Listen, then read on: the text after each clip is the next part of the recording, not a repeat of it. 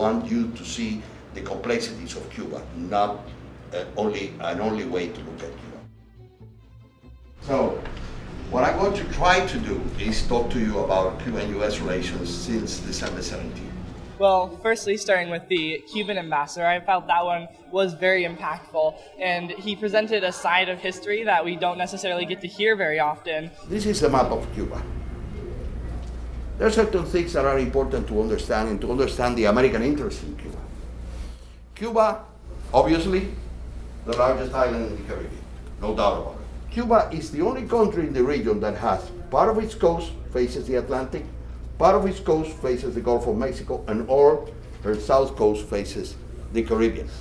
And the Caribbean, the Panama Canal, and the connection to the Pacific. This means that Cuba is in the middle of things. Cuba is a very tiny country. It's got 11 million people in a world of 7 billion people. Yet somehow this guy, Fidel Castro, managed to become one of the most important personalities of the last century. Even though he came from this little, tiny, tiny country. Right? So Fidel Castro is obviously not an ordinary person. He's a very exceptional person.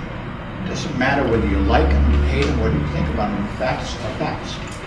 Facts are, that's who he is. Right? And I'm sure he's still consulted. He doesn't run anything in Cuba anymore, but he certainly is consulted. What happened in December 17 is a major event in the history of Cuban-U.S. relations because for the first time, the president of Cuba and the president of the United States talked to each other, decided on a number of issues together, a show of mutual respect that, is, that it was rare before Cuban-U.S. relations, and started a process that is very, very new. It's like entering unknown territory. We don't know exactly where this is going to take us. Hopefully, and I am one of those who hopes that it will be uh, for a better relationship between Cuba and the United States, as it should be, because we are neighbors. And this is the first fact that we, that we should understand, is the first fact that I want to emphasize, and it will be the final fact that I would like to underline. Neighbors. Neighbors has a lot of implication. 2013, the president of Cuba and the United States spoke at the funeral of Nelson Mandela in Johannesburg. And something happened that day that had never happened before, which was the president of Cuba and the president of the United States shaking hands. Such a simple act as shaking hands. As an old diplomat, when I saw that, I said, ho ho, something is cooking here. There's, some, there's something new, evidently. These things don't happen, neither by mistake, nor by coincidence. They happen because the three sides have to plan it. He presented the idea of the normalization of Cuban American politics and the politics behind that as it's really a set of issues that need to be solved before that we can even think about doing. Well, there are many issues in the, in the air.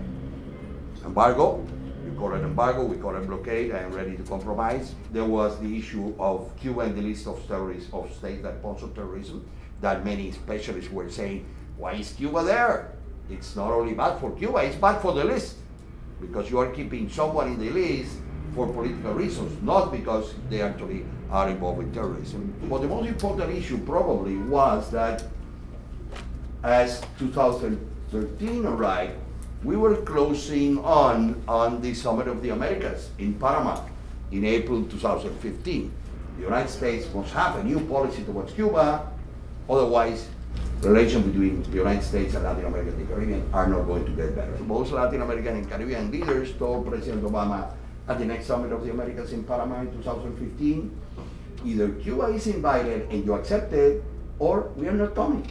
President Obama faced that fact, faced the problem that he had to do something about Cuba. The American ambassador in Cuba, who was in Havana, he was talking more about making progress on the Cuban side. And I think that makes a lot of sense that they're kind of placing the strain of what needs to happen on the other party, right?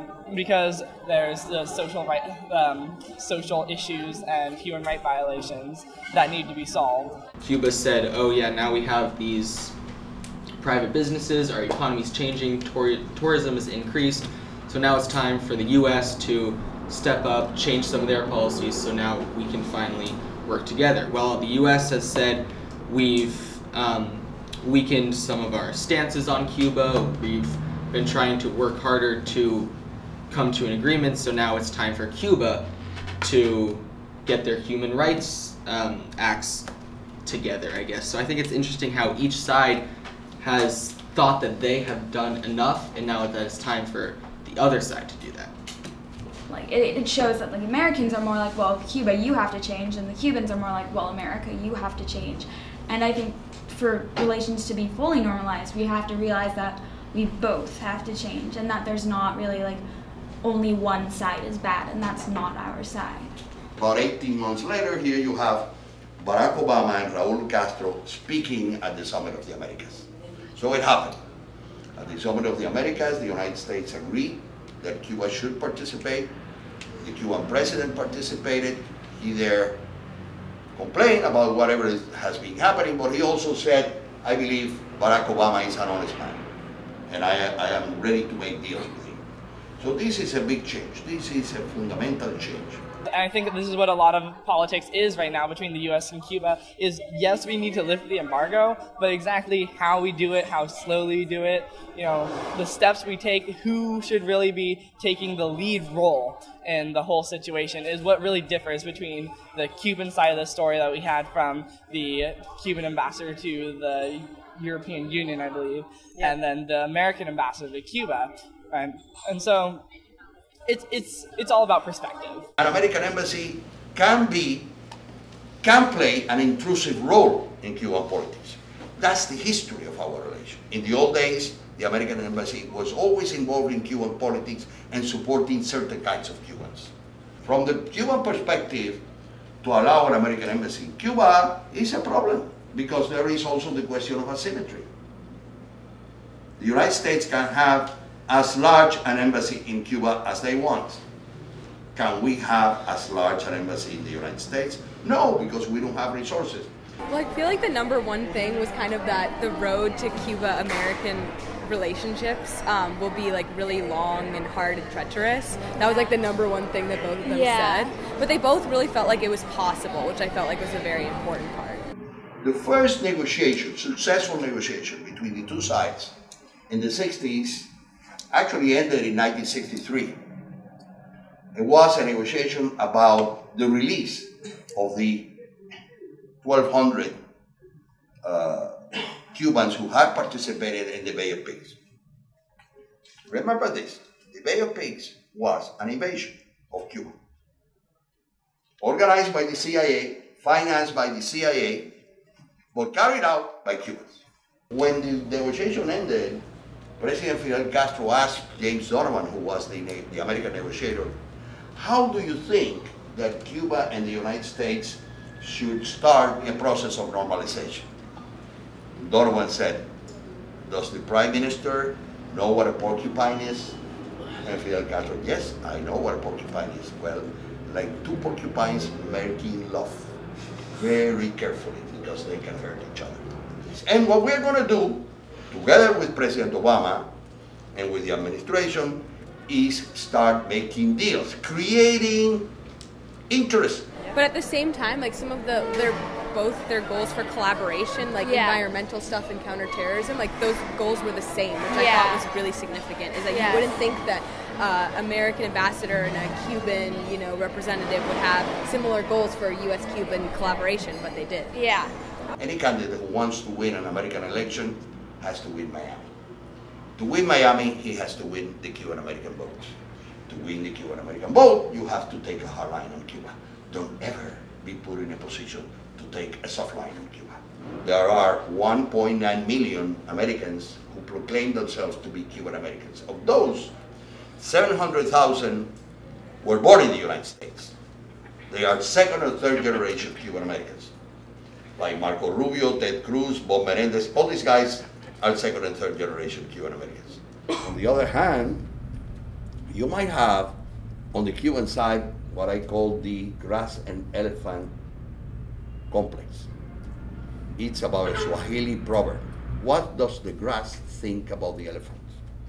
And the grass thinks that it doesn't matter if the elephant is making war or making love, he will always trample on the grass. So you can find Cubans who say, I don't care what the United States is doing. It might seem all right from here, but it's going to be probably wrong. It's going to be damaging for me because the elephant doesn't care what he's doing. Uh, and I always tell my students, listen, guys, you think Dick Cheney and Bill Gates have the same idea about the United States? They say, no, of course not. Then don't think about the United States the way you're thinking about the United States. Try to learn from the Americans. Try to understand the Americans. And then you might be better, better placed to influence Americans to have a different view of Cuba, the view that you want uh, to have about Cuba. One of the things that the Cuban Revolution brought about, and that I don't think Cubans are ready to give up, is the sense of independence, the sense of self-determination. So the vision, the vision of Cuba as an enemy of the United States, as in a, a replace, a irreducible enemy of the United States, a, a terrible dictatorship. Uh, by the way, sometimes it is forgotten that the Cuban Revolution was against the, a dictatorship. I mean, socialism was not established in Cuba because Russian tanks came to establish it, as in most of Eastern Europe. Socialism was established in Cuba after a, a process of rebellion against a terrible dictatorship. The Batista dictatorship was terrible. This is recent history. This is not ancient history. This is something that is within living memory. People have uh, gone through these things and remember it uh, and can tell, talk about it, uh, versus something that happened a few centuries ago. Cuba is changing. Whatever Cuba in five years from now is going to be completely different. How is it going to be? Well, it's difficult. But Cubans are having more say in where we are going. Since Raul Castro took over in 2006, there hasn't been one anti-U.S. demonstration in 10 years. Instead, what there's been is a series of grassroots discussions where people were asked pretty point blank, what do you think's wrong with this place and what should we do about it? And it does show that they wanted people to speak their minds. If the embargo was lifted, how do you think that would change people and their mindset just kind of towards America and in general? Are all Cubans ready and wanting a full normalization of relations between the U.S. and Cuba? Okay. What we would like is that American companies come to Cuba and invest. They invest, uh, for example, we, we have an example here in Old Havana. In Old Havana, there is a rule. You come to invest in a building in Old Havana. We give you the building, not the building cannot be owned by the foreign company. It can be rented or it can be taken But that company has to fix the two other buildings beside it. And at the same time, sponsor a school inside Old Havana. So those, those rules that have been increasing in Cuba, they're, they're rules that, that we apply. They've gone from blaming the outside world for all their problems saying, I have my own problems and I have to deal with them regardless of the outside world. They're very proud to be Cuban. They're very proud of their history and of like who they were in the past and who they are today. At the same time, we're still dependent on somebody. So it was Americans, Soviets, then European tourists, then Venezuelans, and now what? Now if the embargo is lifted, then what? Who are we going to be dependent on? You know, and this is something that I think is becoming clear in, in Cuban politics, not just in the upper echelons, which is very clear there, but in the people, is that they have to have some sort of self-sustaining method.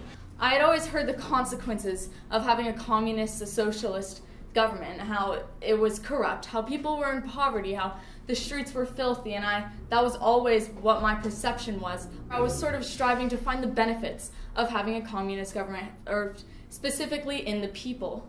On the first day in Cienfuegos, we visited a market, market, and here, this is where I learned about the free food rations that um, that that the Cuban government gives its people. Now, this isn't for a year, this isn't for a month, this is only for 15 days. And for the other days of the month, the people have to provide for themselves using their own savings. Even, even though in the United States we don't get free food, you have to pay for your own food. When we saw the food ration station, these were not stocked constantly. These were not taken care of. These were not sanitary. The way that they keep track of these food rations, the way that they um, that families keep track of what they've gotten, um, the foods that they get are rice, grains, oil, sugars, things like that.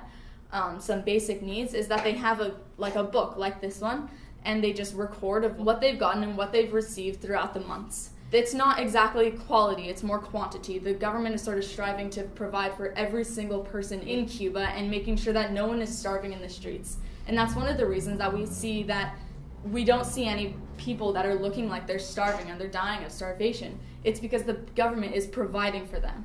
The Cuban government, though, gives it gives free healthcare, it gives ed- free education, and it gives free food for part part of a month. It's not good quality compared to what you get in the United States.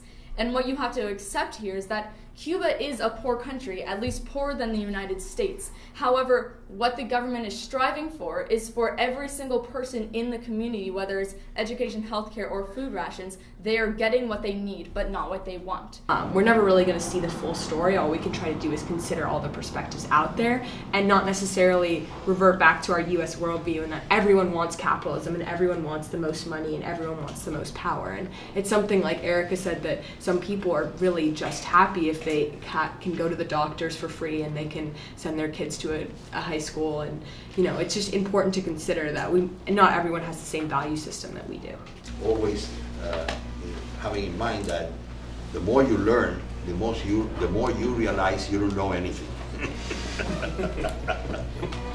Thank you.